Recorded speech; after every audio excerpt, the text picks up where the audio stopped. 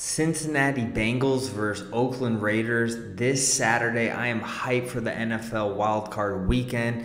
This is the game that I feel the best about. This is a Lindy lock.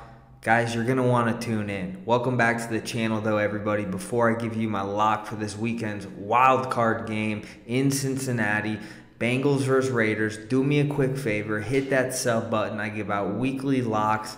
Okay, I do hot takes. Today I'm giving you my pick for this wild card game. Let's first look at it. Okay, Raiders have a lot of momentum coming into this game. Okay, you guys saw the last game they had absolutely wild where they beat the Chargers with that field goal. Same thing with Cincinnati, even though they lost last week. Listen to this stat: six and two against the spread in the last eight games, following a straight loss. They just lost to the Cleveland Browns, okay? The Raiders are 0 5 ATS in their last five meetings with Cincinnati. The line minus 230, Cincinnati for money line, and then you got Vegas as the underdog at plus 190. Spreads five and a half. I'm gonna be honest with you guys. I'm just gonna give you my pick right now. I'm going Vegas five and a half here. I think they just got a lot of momentum. They're playing for bigger reasons. Okay, it's both quarterbacks' debut for Carr and Burrow. Both have been killing it. I believe Carr's like fourth or fifth in the NFL in passing. One thing I want to talk about that doesn't get, you know, brought up much is Cincinnati's run game. Joe Mixon, this guy has been absolutely killing it this year, and it's not talked about that much because he's overlooked by Ja'Marr Chase, Joe Burrow. Okay, but this guy has been killing it. He's had career highs.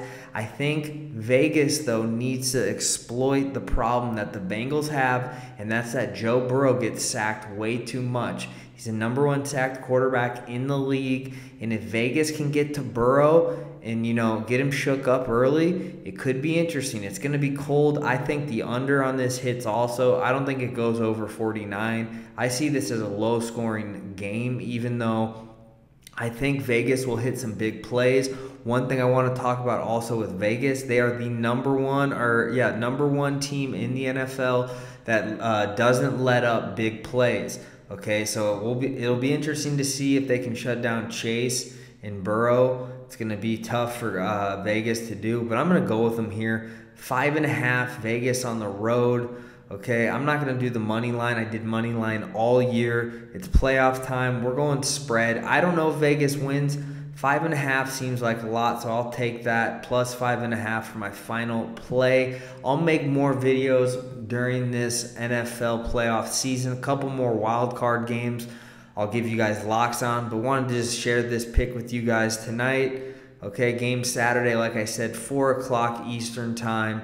But my pick, Las Vegas Raiders, plus five and a half. Want to say good luck to all you degenerates out there. Gamble smart and uh, keep an eye out for my other videos where I give some locks in this NFL wildcard season. But guys, thanks again for tuning in. If you're new to the channel, do me a quick favor, hit that sub button. And until next video, I'm out.